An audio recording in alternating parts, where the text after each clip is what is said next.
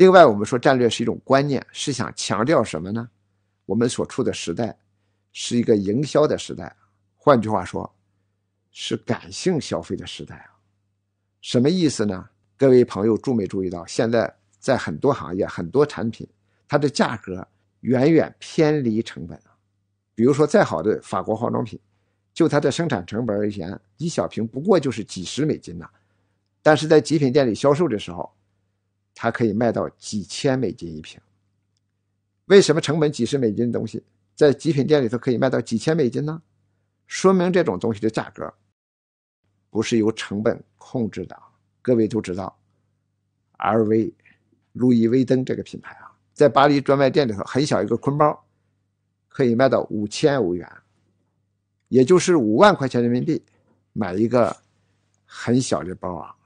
我看拿金丝都能把它缠裹起来了。但我想问各位朋友，知道不知道，LV 产品的售价里头成本占多大比重？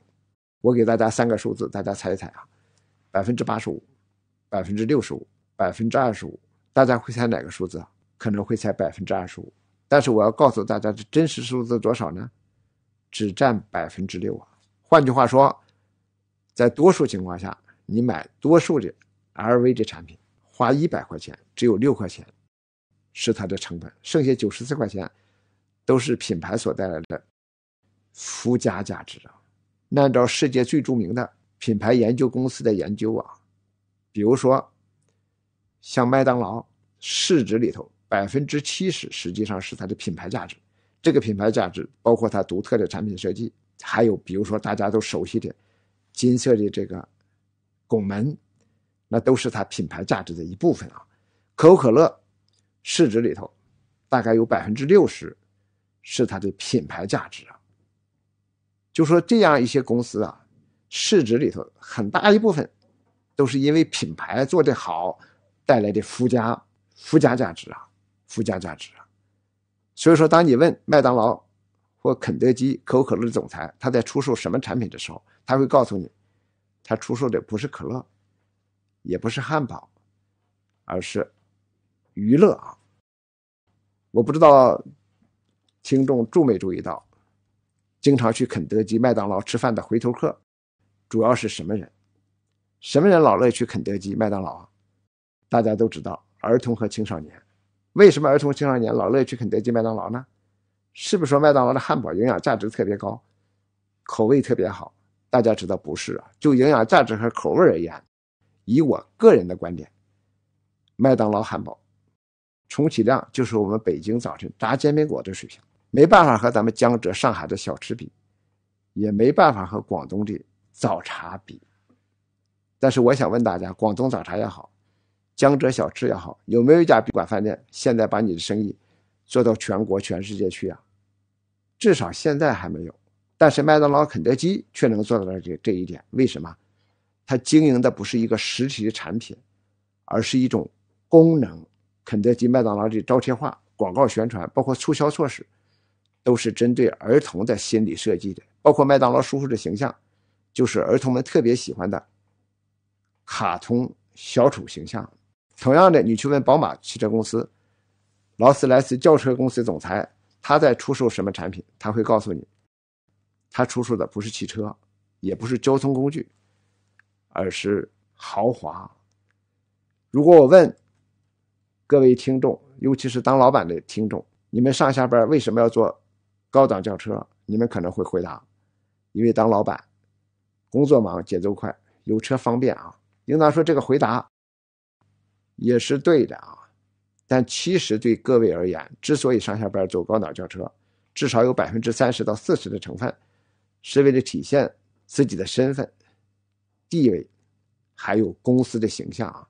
所以说，人家说世界跨国公司的老总出差也好，开会也好，要坐飞机和轮船的头等舱，要住五星级酒店，而不是随便的迁就和对付啊。大家可能会注意到，北京、上海财富论坛开会的时候。北京奥运会、上海世博会开幕式、闭幕式，世界一些跨国公司的老总到北京、上海来，都是坐什么来的？都是坐专机、包机来的，很少有人坐火车从欧洲经过长途跋涉过来的啊！就是要叫全世界消费者看看我这种大公司的实力地位和影响。大家想一想，哪一天张仁民总裁如果心血来潮，说自己六十几岁了，应当加强体育锻炼，骑着自行车到青岛某家银行去办事会出什么结果？头一天下午跟他约好了要给他办事的银行处长和主任，一看张仁民总裁骑自行车来了，可能该办的事都不敢办了，而是慌慌张张的跑进行长办公室，说什么？孩儿不行了，出事了，张仁敏骑自行车来了。十有八九可能会出现这种结果。大家到世界各大城市旅游观光，是否已经发现了世界各大城市最豪华的建筑一般是什么地方呢？是世界各大银行的总部和分理处大楼啊？为什么世界各大银行要把总部和分理处大楼盖得富丽堂皇？那不仅仅是为了追求奢华，而是为了给储户增加信心啊！但是我们中国老百姓习惯于把银行盖高楼大厦。当做是行业腐败的象征啊！但我可提醒听众和朋友，如果您家的太太、老公、家长是银行领导，你可千万别不要听老百姓反腐败，找几间茅草房就做金融业务，那可就坏了。包括骂你腐败的老百姓，当他家里真有钱要找银行存的时候，可能也是找越腐败的银行越往里存的，因为他看到你这个腐败大厦。心里比较踏实。反过来，他有没有道理啊？万一你这银行破产了，你那腐败大厦还可以卖了抵点债啊！你找几间茅草房，风雨飘摇，谁敢往你那里存钱呢？各位听众可能知道，过去我们大学教师在课堂讲课的时候，有些老教授怕粉笔把衣服弄脏了，有的是在这套袖，有的是罩上一件工作服啊。现在我们大学教师，尤其我们商学院的教师都不这样做啊，而是西装革履的走上讲台，要把美好的一面展示给市场和听众啊。我这身衣服啊，就是全家最好的衣服了啊。我本来还问合作的朋友、录像的朋友要不要扎领带，他们说讲课嘛最好是轻松一点，选了我家里的最好一件休闲西装和最好的休闲衬衫，来到这里了。有的时候要注意到公司的形象啊，这是战略，是一种观念啊。其实各位为什么说理念很重要呢？因为这个理念指导你的实践经营和操作啊。